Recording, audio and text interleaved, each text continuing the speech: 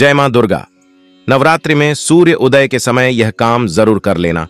हर बिगड़ा हुआ कार बन जाएगा। माता लक्ष्मी का मिलेगा। असीम आशीर्वाद, सभी दुख दर्द नष्ट हो जाएँगे और मिलेगा। माता दुर्गा का असीम आशीर्वाद होगी। हर मनोकामना इच्छा पूरी इस नवरात्रि में कर लेना। बस यह छोटा सा काम। जय माम अंबे जय माँ। लक्ष्मी है माता रानी। आप अपनी कृपा हमेशा ही अपने हर एक भक्त के ऊपर बनाए रखें। और इस वीडियो को लाइक करने वाले व्यक्ति के ऊपर हमेशा ही अपनी कृपा बनाए रखना। नमस्कार माताएँ, एवं पहलू स्वागत है। जय माँ दुर्गा मित्रों, नवरात्रि के पावन दिन हम आशा करते हैं कि माँ दुर्गा इस बार आपके घर के अंदर प्रवेश ज़रूर करें और साथ ही साथ आपके ऊपर माँ दुर्गा ढेर सारी कृपा बनाए रखें।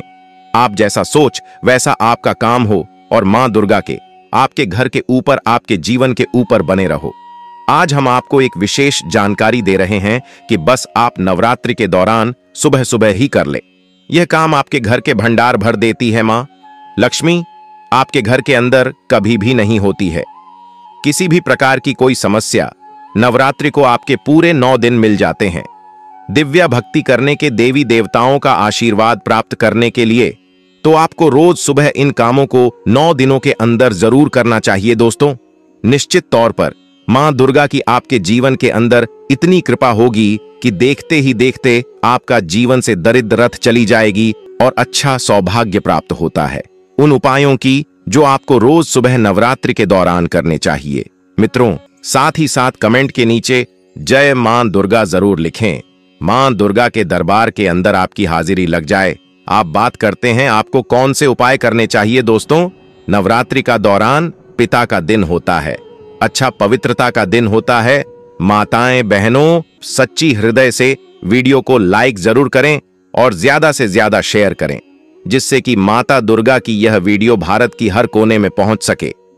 इसीलिए आप इस वीडियो को ज़्यादा से ज़्यादा शेयर करें और कमेंट बॉक्स में जय मान दुर्गा अवश्य ही लिखें, जिससे कि माता दुर्गा की कृपा आप पर एवं आपके पूरे परिवार पर हमेशा ही बनी रहे। जय माँ दुर्गा। तो इस बात का आपको ज़रूर ध्यान रखना चाहिए कि नवरात्रि की जो भी सुबह होती है, आपको ब्रह्म मुहूर्त के अंदर ही उठ जाना चाहिए।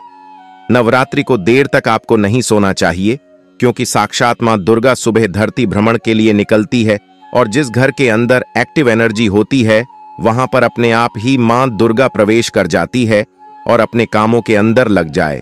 आप नवरात्रि के दौरान इस बात का ज़रूर ध्यान रखें कि नवरात्रि के दौरान इन नौ दिनों के अंदर सुबह भगवान सूर्य देव को जल अर्पित ज़रूर करें। और नवरात्रि के दौरान दोस्तों, अगर आप सूर्य देव को जल अर्पित करते हैं तो उसके अंदर लाल चीज़ ज़रूर डालें, ताकि माँ दुर्गा का आपके संपूर्ण आशीर्वाद प्राप्त होगी या पूजा पाठ से जुड़ी। किसी भी तरह की कोई लाल एक चिमटी चीज़ आप डालकर भगवान सूर्य देव को अर्थ दे। सुबह के समय दोस्तों आपकी कुंडली के अंदर सूर्य देव कितने मज़बूत होंगे कि समझ लीजिए कि आपके जीवन के अंदर खुशियों की झोली भर जाती है और नवरात्रि के दौरान यह उपाय बलवती हो जाता था। दुगना प्रभाव आपको देखने को मिलता है। शक्ति के दौरान रखें छोटे छोटे उपाय हैं। आज हम आपको इस सीरीज़ के अंदर छोटे छोटे उपाय बताएँगे। ऐसा नहीं कि आप कोई सबको, आपको इन सबको करना है। कोई भी एक उपाय कीजिए, आपको लाभ प्राप्त होगा। नवरात्रि के दौरान, जैसे तो आप अपने घर का झाड़ू निकालते हैं, लेकिन नवरात्रि के दौरान दोस्तों, अपने द्वारा को झाड़ू के माध्यम से सफ़ाई करना और अपने द्वारा की सफ़ाई करना और नवरात्रि की सुबह सुबह अपने घर के द्वार खोल कर रखना। बस आप मात्र इतना कर लें। समझ लीजिए कि माँ दुर्गा आपके घर के अंदर प्रवेश कर लेगी। और माँ दुर्गा की कृपा से आपके जीवन के अंदर, माँ लक्ष्मी की कृपा से आपके जीवन भर के अंदर कभी भी धन की कमी नहीं होगी। इसका कारण यह होता है दोस्तों, ब्रह्म मुहूर्त के अंदर माँ दुर्गा धरती भ्रमण के लिए निकलती है। अपने साथ, उनके साथ, उनकी सखियाँ, माँ, सरस्वती माता, पार्वती माँ, लक्ष्मी आदि।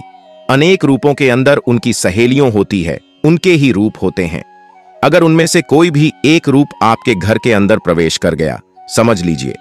और दोस्तों, जहाँ पर देवता वहीं निवास करते हैं, जहाँ पर साफ़ सफ़ाई होती है, इसलिए नवरात्रि के दौरान अपने घर की अपने द्वारा की सफ़ाई ज़रूर रखें। सुबह सुबह के समय, ताकि आपके घर के अंदर बीवियों का प्रवेश हो सके।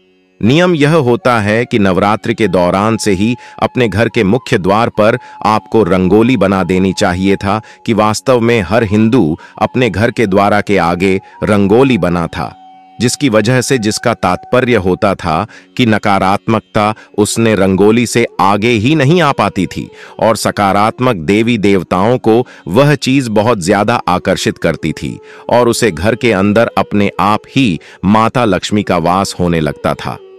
तो आप क्या करें कि अपने घर के द्वार पर रंगोली बना दें ताकि क्या पता नौ दिनों के अंदर दीपावली तक को कौन सा आपके घर के अंदर ऐसा सुख सहयोग बने कि देवी देवता आपके घर के अंदर प्रवेश कर जाएँ और आपको उसका सकारात्मक परिणाम देखने को मिले तो आप रंगोली का निर्माण नवरात्रों के दौरान ज़रूर कीजिए कि अगर आपके जीवन के अंदर आपको धन की कमी का बहुत ज़्यादा सामना करना पड़ रहा था परिवार के अंदर आए दिन की लड़ाई झगड़ा होता रहता था। आप चाहते थे कि वह लड़ाई झगड़ा कैसे करके समाप्त हो जाए। तो दोस्तों, इस नवरात्रि के दौरान आप इन चीज़ों से छुटकारा पा सकते हैं। अगर कोई भी नवरात्रि के दौरान यह उपाय करेगा, उससे लाभ ही लाभ प्राप्त होगा। माता रानी का आसीन आशीर्वाद प्राप्त होगा। उसकी हर मनोकामना इच्छा पूरी हो जाएगी। पर आपसे एक अनुरोध और करना चाहिए कि आप अपनी राशि को कमेंट बॉक्स में ज़रूर डाल दें कि नवरात्रों के दौरान अपने घर का जो मुख्य द्वार होता है, अपने घर के मुख्य द्वार पर एक स्वास्थिक का निर्माण ज़रूर करें। आपकी कोई मजबूरी है क्या? घर के मुख्य द्वार पर आप स्वास्थिक नहीं बना सकते तो आप क्या करें? उसके ऊपर स्वास्थ्य का निर्माण कर लें और अपने मुख्य द्वार के अंदर की तरफ़ या बाहर की तरफ़। वहाँ पर उसे पेपर को आपको रख देना चाहिए। आपको उतना ही फल प्राप्त होगा।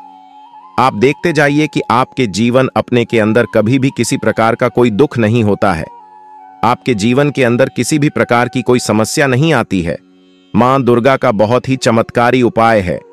कोई स्वास्थ्य अपने अपनी आपके घर की जो नकारात्मक चीज़ होती है, बुरी शक्तियाँ होती हैं, नज़र दोष होता है, उसको वहीं पर समाप्त कर देता है।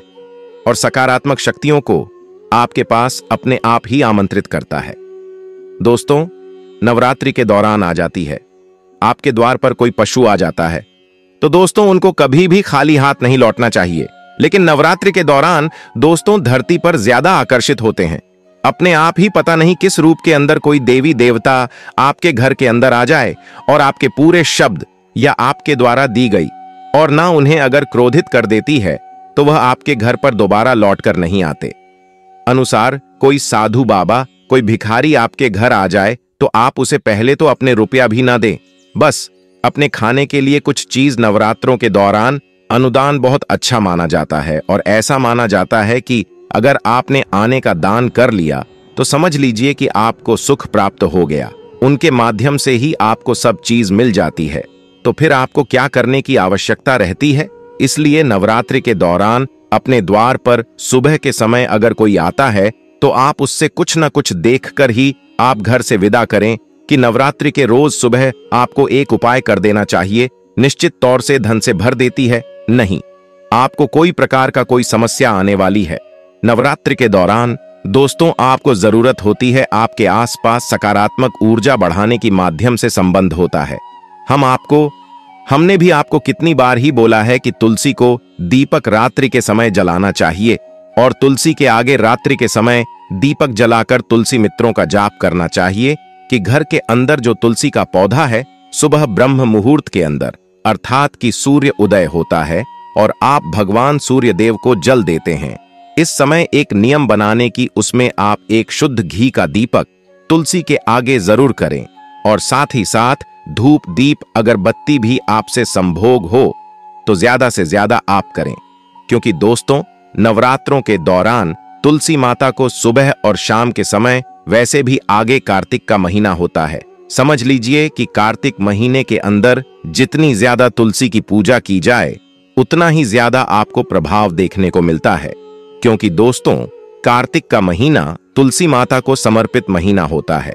और अगर आप इन दिनों के दौरान तुलसी को सुबह और शाम घी का दीपक करते हैं।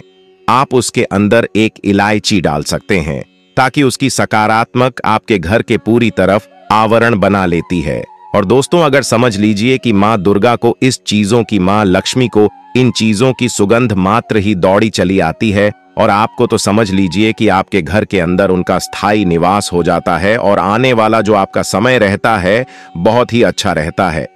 आने वाले समय के अंदर आपको किसी भी प्रकार की कोई विपत्ता का सामना नहीं करना पड़ता। इतना प्रभावशाली और यह छोटा सा उपाय है। बस आपको करना कुछ नहीं है, ना आपकी कुछ ज़्यादा लागत आने वाली है। समझ लीजिए कि आप देवी देवताओं को अपने घर में आमंत्रित कर लेंगे माँ। दुर्गा को आप अपने घर के अंदर आमंत्रित कर लेंगे तो आपको किस चीज़ की ज़रूरत पड़ने वाली है? और आपके जीवन के अंदर कभी भी किसी प्रकार का कोई दुख दारुणिया नहीं रहने वाला है। जो भी व्यक्ति उपाय को करेगा, उसकी हर मनोकामना इच्छा पूरी होगी। माता रानी का मिलेगा, असीम आशीर्वाद होगी। हर मनोकामना अच्छा 24 घंटे के अंदर ही पूरी अभी तक आपने इस वीडियो को अपनी हर एक माता बहन के चरण किया हो तो ज़रूर कर दीजिए। और हर एक ग्रुप में भी उसे वीडियो को ज़रूर शेयर करें। ताकि हर एक सुहागन को यह ज्ञानवर्धक जानकारी उन तक पहुँच सके और वह लाभ ही लाभ उठा सके, कि नवरात्रों के दौरान रोज सुबह आपसे जितना ज़्यादा हो सके, ऐसा नहीं कि आप हज़ारों रुपए खर्च करें। आप दस रुपए भी खर्च कर सकते हैं, हज़ारों रुपए भी कर सकते हैं। अपने समर्थ के अनुसार जितना ज़्यादा हो सके, नवरात्र के पूरे नौ दिनों के दौरान छोटी छोटी कन्याएँ हैं। आप उनको खुश रखने का प्रयास करें। आप उनको उनकी ज़रूरत का सामान दिलवाएँ। छोटी कन्याओं को तो निश्चित तौर पर दोस्तों, आपके घर के अंदर अपने आप ही बिना पूजा पाठ कीजिए। आपको माँ दुर्गा का फल प्राप्त हो जाएगा। देवी दुर्गा सदैव आपके घर के ऊपर, आपके जीवन के ऊपर प्रसन्न रहती है। नवरात्रि के दौरान तृतीया पंचमी, सप्तमी और नवमी के दिन अपने आसपास स्थित किसी शिव मंदिर में जाएँ। वहाँ भगवान शिव एवं माँ पार्वती पर जल एवं दूध चढ़ाएँ। और पंचोपचार चंदन, पुष्प, धूप, दीप एवं नैवेद्य से उनका पूजन करें। अब मौली, पूजा में उपयोग किया जाने वाला लाल धागा। से उन दोनों के मध्य गठबंधन करें। अब वहाँ बैठकर लाल चंदन की माला से मंत्र का जाप 108 बार करें। मंत्र। हे गौरी शंकर अर्धांगी यथा त्वम शंकर प्रिया तथा माँ कुरु कल्याणी कांत कांता सुदुर्लभाम इसके बाद तीन महीने तक रोज इसी मंत्र का जाप शिव मंदिर में अथवा अपने घर के पूजा कक्ष में माँ पार्वती के सामने 108 बार करें। घर पर भी आपको पंचोपचार पूजा करनी है। शारदीय नवरात्र के चमत्कारिक ग्यारह उपाय, धन, नौकरी, स्वास्थ्य, प्रमोशन आदि मनोकामनाएँ होंगी। पूरी धन, नौकरी, स्वास्थ्य, संतान, विवाह, प्रमोशन आदि कई मनोकामनाएँ इन नौ दिनों में किए गए उपायों से प्राप्त हो सकती हैं। नौ दिनों तक चलने वाले नवरात्र पर्व में माता के विभिन्न स्वरूपों की पूजा की जाती है और उन्हें प्रसन्न करने के लिए विभिन्न साधनाएँ भी की जाती हैं।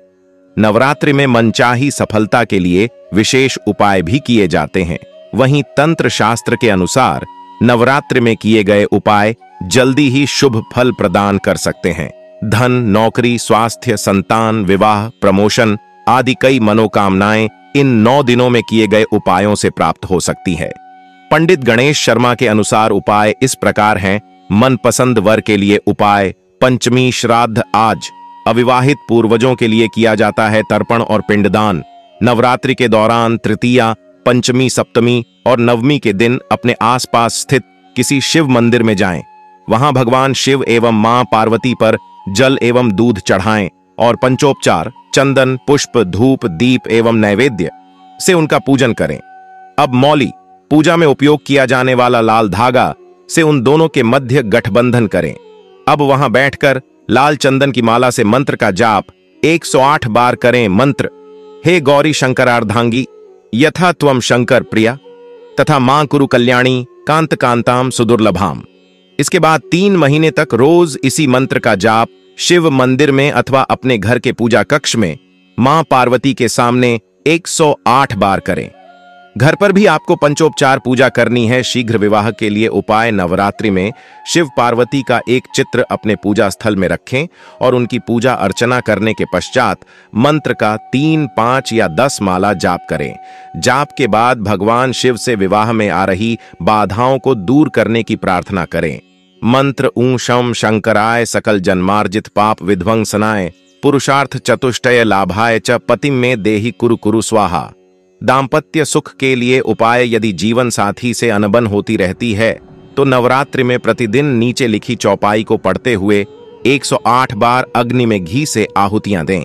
अब नित्य सुबह उठकर पूजा के समय इस चौपाई को 21 बार पढ़ें। यदि संभव हो तो अपने जीवन साथी से भी इस चौपाई का जाप करने के लिए कहें, चौपाई, सब नर करहीं परस्पर प्रीति चलहीं स्वधर्म निरत श्रुति, नीति धन लाभ के लिए उपाय नवरात्रि के समय कम से कम पाँच दिन सभी कार्यों से निवृत्त होकर उत्तर दिशा की ओर मुख करके पीले आसन पर बैठ जाएँ।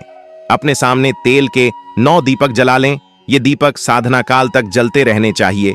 दीपक के सामने लाल चावल चावल को रंग लें कि एक ढेरी बनाएँ। फिर उस पर एक श्रीयंत्र रखकर उसका कुंकुम, फूल, धूप तथा दीप से पूजन करें।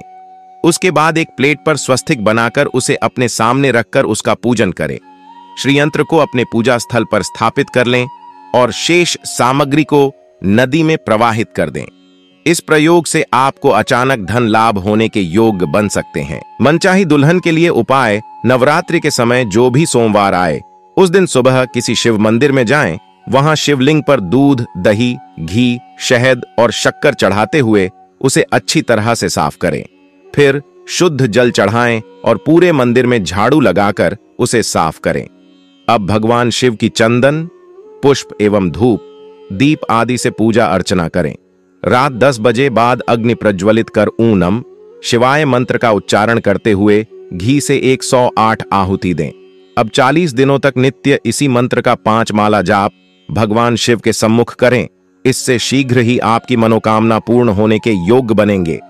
इंटरव्यू में सफलता का उपाय नवरात्रि में मंगल गुरु और शुक्र के दिन, सुबह जल्दी उठकर स्नान आदि करने के बाद, सफ़ेद रंग का सूती आसन बिछाकर, पूर्व दिशा की ओर मुख करके, उस पर बैठ जाएँ। अब अपने सामने पीला कपड़ा बिछाकर, उस पर एक सौ आठ दानों वाली स्फटिक की माला रख दें, और इस पर केसर व इत्र छिड़क कर इसका पूजन करें इसके बाद धूप, दीप और अगरबत्ती दिखाकर, मंत्र का इकतीस बार उच्चारण करें इस प्रकार ग्यारह दिन तक करने से वह माला सिद्ध हो जाएगी। जब भी किसी इंटरव्यू में जाएँ तो इस माला को पहन कर जाएँ। ये उपाय करने से इंटरव्यू में सफलता की संभावना बढ़ सकती है। मंत्र ऊह लीं वागवादिनी भगवती मम कार्य सिद्धि कुरु कुरु फट स्वाहा। लाभ बढ़ाने का उपाय, नवरात्रि में सोमवार और शुक्रवार के दिन सुबह स्नान कर साफ़ कपड़े में अपने सामने मोती शंख को रखें और उस पर केसर से स्वस्तिक का चिन्ह बना दें। इसके बाद इस मंत्र का जाप करें। मंत्र, श्रीं ह्रीं श्री महालक्ष्मय नम। मंत्र जाप के ये हैं नियम। मंत्र का जप स्फटिक माला से ही करें। मंत्रोच्चार के साथ एक एक चावल इस शंख में डालें। इस बात का ध्यान रखें कि चावल टूटे हुए ना हो, इस प्रयोग लगातार नौ दिनों तक करें। इस प्रकार रोज एक माला जाप करें। उन चावलों को एक सफ़ेद रंग के कपड़े की थैली में रखें। और नौ दिन के बाद चावल के साथ शंख को भी उस थैली में रखकर तिजोरी में रखें। इस उपाय से घर की बरकत बढ़ सकती है।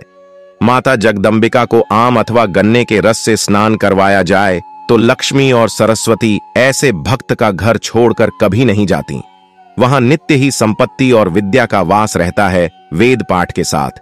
यदि कर्पूर, अगरू, सुगंधित वनस्पति केसर, कस्तूरी व कमल के जल से देवी को स्नान करवाया जाए तो सभी प्रकार के पापों का नाश हो जाता है, तथा साधक को थोड़े प्रयासों से ही सफलता मिलती है। द्राक्षा दाख के रस से, यदि माता जगदम्बिका को स्नान करवाया जाए तो भक्तों पर देवी की कृपा बनी रहती है। इसी प्रकार यदि देवी को दूध से स्नान करवाया जाए तो व्यक्ति सभी प्रकार की सुख समृद्धि का स्वामी बनता है।